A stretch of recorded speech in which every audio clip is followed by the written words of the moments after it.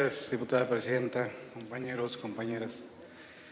Celebro de igual manera que las diferentes fracciones parlamentarias que presentaron una ley anticorrupción siguiendo los parámetros federales hayan logrado llegar a un acuerdo el día de hoy para avanzar en la primera etapa, como bien decía mi compañero diputado Raimundo.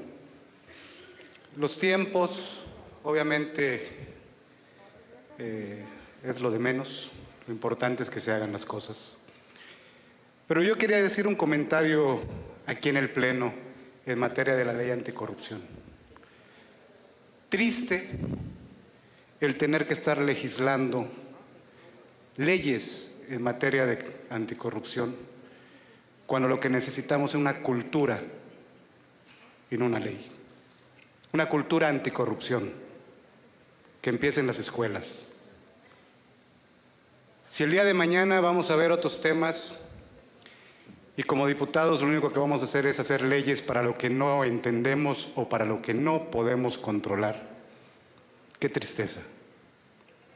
Necesitamos generar una cultura con nuestros niños en contra de la corrupción.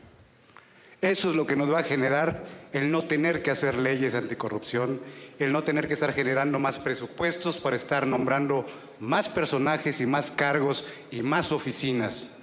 Cuando allá afuera, en el campo, la gente necesita maíz, necesita tractores, necesitan escuelas, necesitan tantas cosas.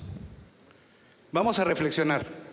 Es un gran paso para Quintana Roo la ley anticorrupción, pero no es suficiente.